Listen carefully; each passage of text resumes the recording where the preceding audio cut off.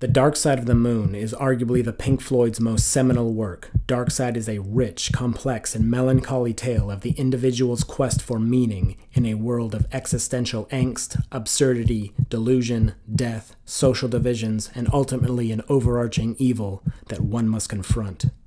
The album remained on the Billboard charts from its release in 1973 to 1988 for a total of 741 weeks. It is ranked as the third highest selling album of all time and has received acclaim from critics as one of the greatest albums ever made. Dark Side of the Moon is a masterpiece that every lover of music, regardless of their personal taste or style preference, should embark upon.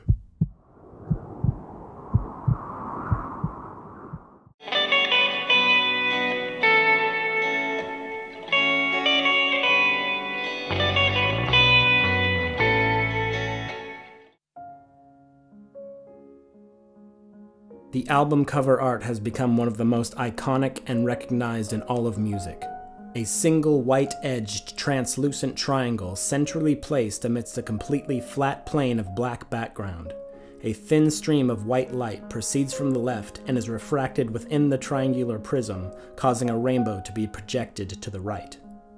There are four major aspects of the cover that one must consider in context with one another the stream of white light, the projected rainbow, the black background, and the triangle. The most important symbolic aspect of the triangle is that it is an equilateral. Due to this triangle's ideal proportions, it has been used by many ancient civilizations to represent the deity, but no tradition more than within Christianity. This perfectly proportioned geometric shape, which is both three pointed and singular, has been used for centuries in Christian art to symbolize the nature of the Trinity.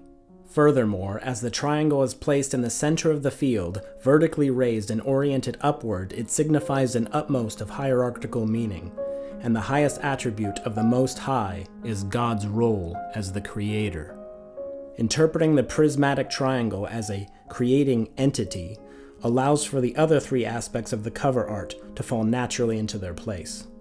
The stream of white light, whose source is the sun, an important motif used throughout the album, symbolizes unitary of mind or a singular consciousness.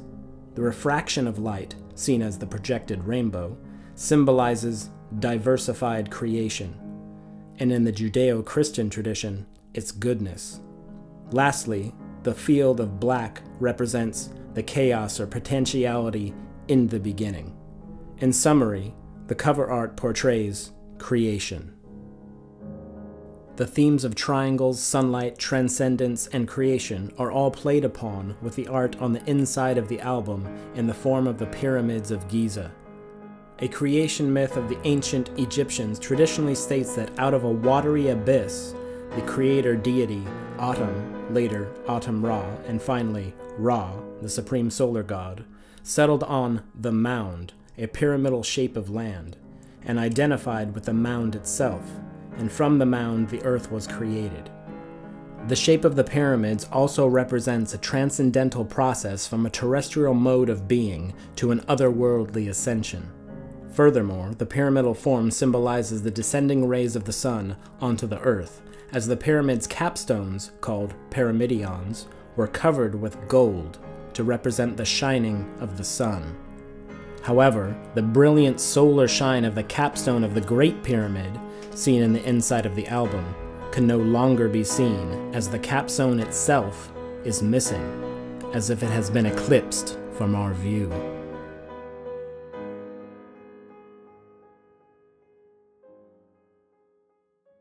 A low drone. A heart fades in from the silent black threshold. The album opens in utero, at the beginning of one's life. The second sound that is heard is that of clocks that all too pervasively count down the finitude of a human life. Are we born to die? Perhaps a partial truth, but is this portrayal of life absolute in its truth? Voices speaking of mental instability and the sounds of coins and paper currency grow as the audio symbols representing the absurdity of existence, the mental angst and madness that it ensues, and the toiling away for the acquisition of the abstraction that is money and the divisions it creates. The world awaits. Clare Torry's wailings represent the screams of a newborn child thrown into reality as time begins to devour you. This is a significant theme in existentialism, and what the 20th century German philosopher Martin Heidegger referred to as thrownness, or being thrown into the world. The concept referring to an event of being born or existing as such, as utterly arbitrary in its nature. As a brute fact, no one chooses when or where or to whom they are born, nor any objective reasons as to why they are. We simply are. After we are thrown into the world with no apparent freedom of choice in the matter or reasons as to why, we are hereafter condemned to be free.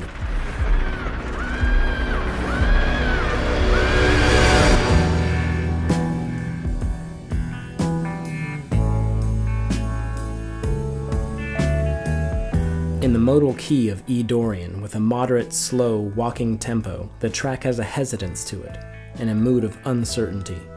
A signature sonic quality during the introduction of the song is David Gilmour's slide guitar, which denotes a degree of optimism. However, this hopefulness turns to a much more unsettling tone at the end of the chorus's chordal progression.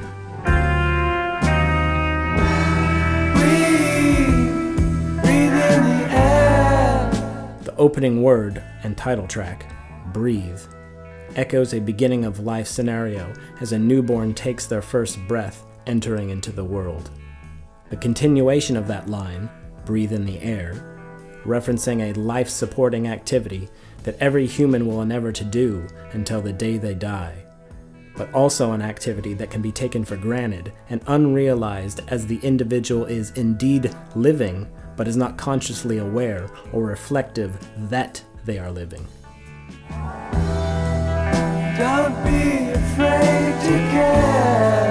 This second line speaks of advice that although fear persistently pervades one in life, it is better to genuinely engage in the enterprise of living than to retreat into a state of nihilistic indifference. Leave, don't leave me. This line signifies the paradox concerning the capability of an individual to exist among a collective group and still form their own unique identity. This is particularly evident among one's local group, the family, particularly the individual and their parents. This thought continues into the final line of the first verse. Look around, choose your own ground. This phrase emphasizes choice as a conscious instrument to build one's own life as opposed to letting life happen to you. This denotes the difference between the individual who conscientiously chooses to act their life out and the one who unconsciously reacts to life. How you live, how you fly, smiles you'll give and tears you'll cry. These first two lines of the first chorus convey the full physical and emotional breadth of an individual's life, while the next two lines speak to just how limited and restrictive living as a human being is. This can be taken on the sensory or the cultural level. All you touch and all you see is all your life will ever be. On the sensory level, humans only experience a fraction of physical reality, in that visible light consists of less than 1 100th of 1% of the total electromagnetic spectrum.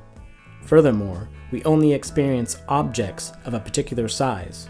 Much of reality is too large or too small to see, too low or too high of a frequency to hear, and too fast or too slow to experience within our perception of time. On the cultural level, an individual is constrained by the cultural context in which they find themselves. A human being has essentially an infinite amount of malleable potential that could manifest itself into an untold number of ways. However, given the presuppositions of the culture one is raised in, in a given time and place, the potential person that that individual is able to actualize is restricted by the social pressures, and that potential becomes more and more constricted the older one gets. We are very constrained beings, and we realize our constraints. This harsh realization concerning the magnitude of limitations humans are tethered with is felt in Richard Wright's organ crescendo, like a slap in the face. Run, rabbit, run. Dig that hole, The second verse equates the human to the running rabbit who digs a hole and in doing so forgets the sun. In these lines, there are three rich symbols that interact with one another in a profound manner. First, the rabbit is typically a symbol of fertility or busyness, in that they eat and procreate prolifically, and although these undertones are evident in the lyric, this rabbit is on the run. In this sense, it is a hunted animal attempting to escape the hunter who we may justifyingly consider as death the rabbit excavates a hole in the earth in an attempt to save itself, retreating from the sun, a universal symbol of truth, goodness, higher being, the self, consciousness, or life general. The sun becoming unseen at the outset of the album foreshadows the conclusion. The rabbit, which is also associated with lunar deities in Eastern folklore, endeavors to save its life through its own works, sheltering itself in darkness, and in a sense losing its life in an attempt to save it. This paradox follows from the Christian tradition that whosoever desires to save his life will lose it, but whosoever loses his life for my sake will find it. For what will it profit a man if he gains the whole world and loses his own soul? When at last the work is done down, it's time to dig another one. How you live how you fly, but only if you ride the tide. Balanced on the biggest wave, In these masterful lines of poetry and the conclusion of the song, the moon is subtly mentioned with its powerful yet invisible influence on the ocean and tides. The moon cycle takes 29 and a half days to complete and consists of four primary phases the new moon, the first quarter moon, the full moon, and the third quarter moon. The gravitational pull on the moon and the ocean raises the tide up to 50 feet in some places on the Earth's surface. Needless to say, it is a tremendous influence on the Earth. High tide occurs during the full moon, but the very highest tide occurs during the new moon. This lunar phase is exclusively when solar eclipses transpire. Furthermore, the darkest nights always occur on the new moon, and darkness has long since been a symbol for evil, fear, the unknown, and death. Moreover, the ocean has long been symbolic for formlessness or chaos, but does also represent a large body of people. Given these various symbols in their given context at the concluding lines of this song, which leads into the next track in its implicit meaning, we may interpret these last lines to mean one perceives that the only way to attain success in life, monetarily or otherwise, is to conform to a dark influential force which persuades the masses and through your conformity and under its influence, you fashion your rapid demise.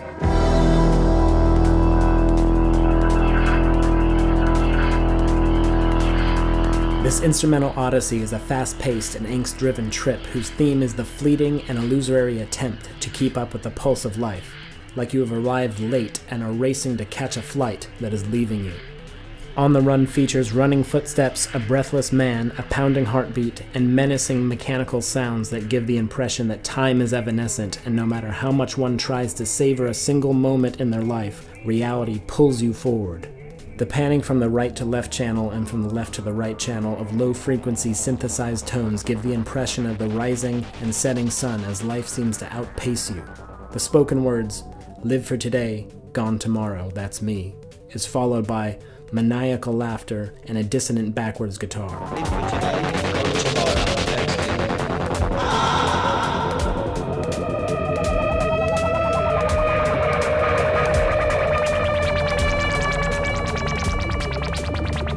This gives the impression that there is a dark force or a villain who influences your life unobserved. The song reaches its apex as a building crescendo of motorized sounds and malevolent laughter lead to the sound of an airplane who has nosedived into a fiery collision with the earth.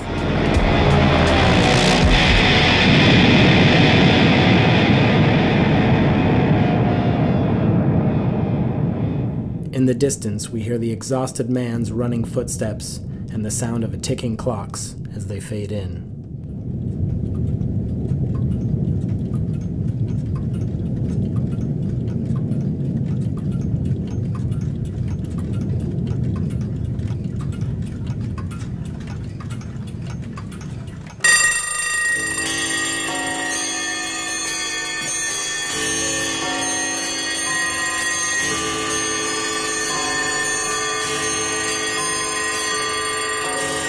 All at once, numerous clocks ring out, giving us the self conscious sense that time is real, pervasive, perpetually passing, and that we are subordinate to it.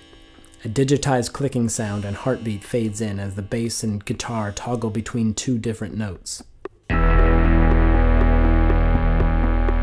This back and forth movement between pitches represents the consistency of time itself, while the meandering of drums and electric piano characterize that of a carefree, wandering, absent mindedness.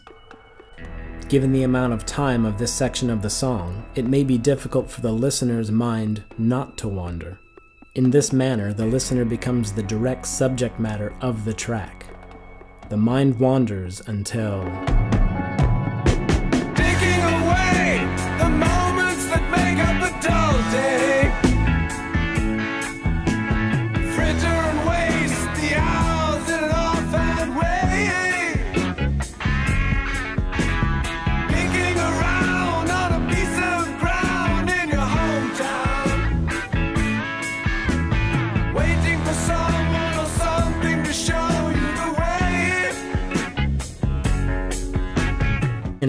Condition of life is that we are thrown into the world with a capacity to become self aware, but at our outset, we are not.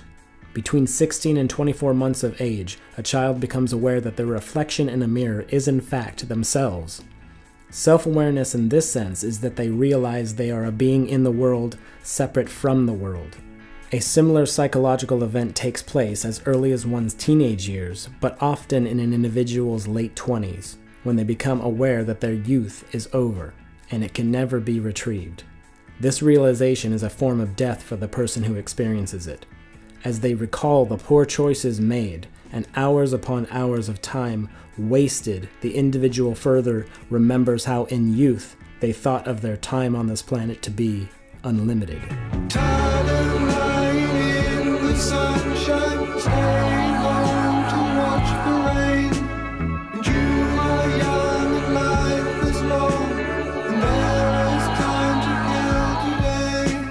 The sun is referenced again, but not for the source of truth or goodness that it represents, but in a sardonic, careless, and thankless way. On the day the individual realizes their youth has passed and they were not in their youth preparing for life, it is already occurring. The finitude of their life shifts into focus, and through that lens, the realization that time that was slain and wasted is synonymous with the wasting of their own potential and the person they could have been. And then one day you find ten years have gone behind you. No one told you when to run. You missed the starting gun. Gilmour's guitar solo speaks of the toiling and brooding of thoughts one experiences upon this realization as the solo unfolds through the stages of grief. Anger, disappointment, degrees of self pity are all felt and expressed in the first half of the wailing guitar solo. But by the chorus section, a bargaining and depression sets in until this grim fact of life is acknowledged and a solution of trying to make up as much time as one can is attempted.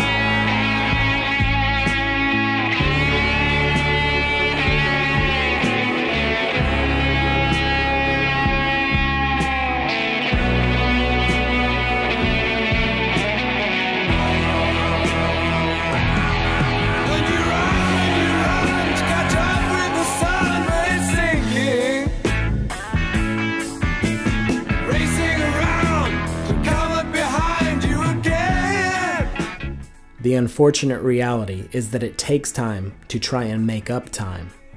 And the same sun that, in youth, you took for granted is now a constant reminder of your life's slipping away from you.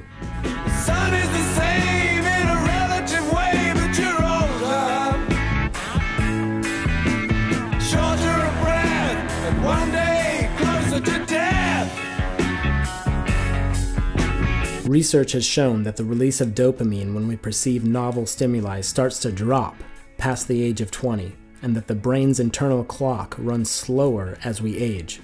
Thus, the pace of life is perceived to speed up, making for shorter and shorter years.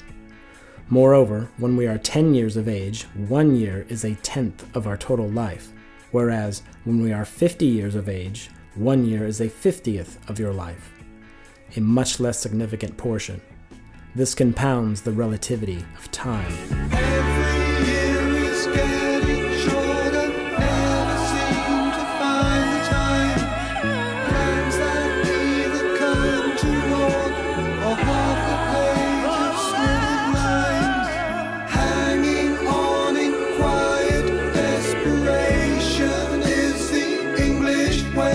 Roger Waters takes a line from the American author Henry David Thoreau, who stated, The mass of men lead lives of quiet desperation.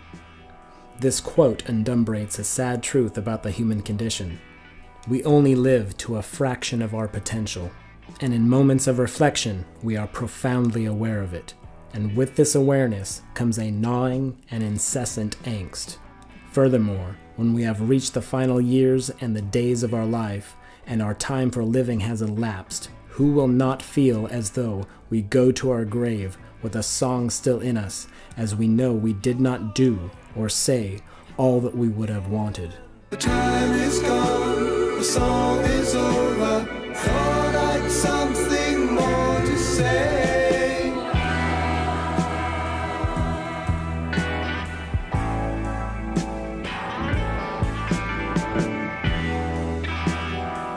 Breathe reprise, Darkside presents us with an end of life scenario, when our life's journey has reached its end and we have arrived back to where we began to conclude our final days.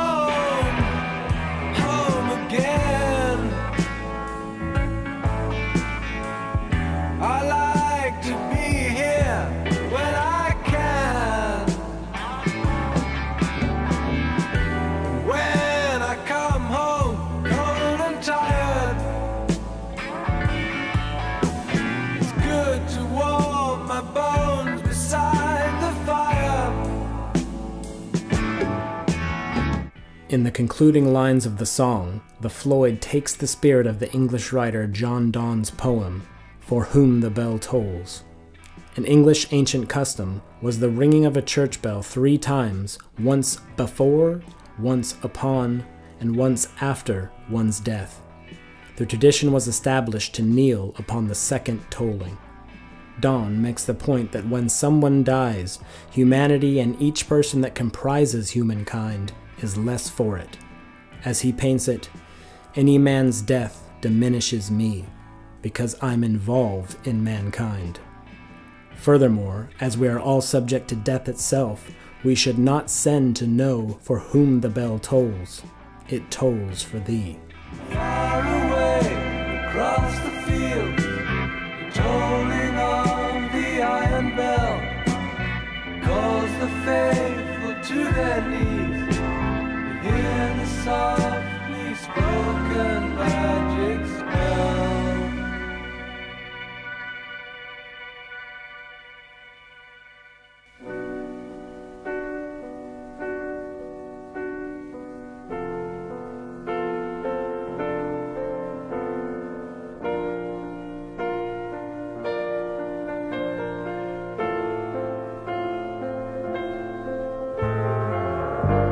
Richard Wright originally composed this song on organ for its religious overtones, and spoken words from the Bible were placed over the chord progression. However, the final studio rendering of this song found piano as its primary instrument and non lexicon vocals performed with an intense degree of emotional output. This final track on side one has to do with death, not in the abstract, but as one experiences death in real time on their deathbed. The spoken words on the track state And I am not frightened of dying. Any time do. I These words are in stark contrast to the emotional sensibilities of this song. For when that day comes for each of us, as it must, and the realization that we will no longer see another sunrise, feel its warmth, speak to another friend or family member, or have any manner of experience hereafter, who among us will face that moment with complete and total equanimity? As David Gilmour's slide guitar symbolizes our life essence leaving our body, and the vocals begin anxiously and terror filled, then melt into pleads of forgiveness, sadness, regret, and finally, in the end, necessarily, acceptance.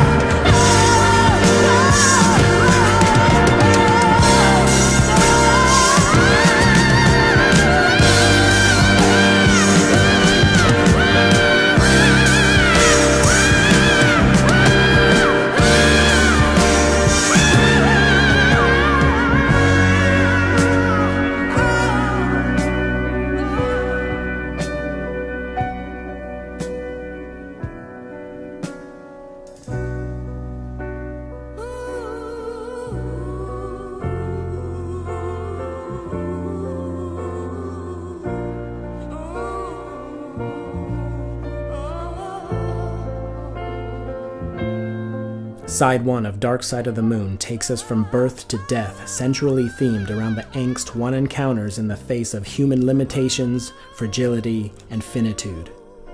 It is a proper frame to place Side 2 within, with its focus on delusory means of attaining a good life, social division, malevolence, and a pervasive evil, underlying and overarching.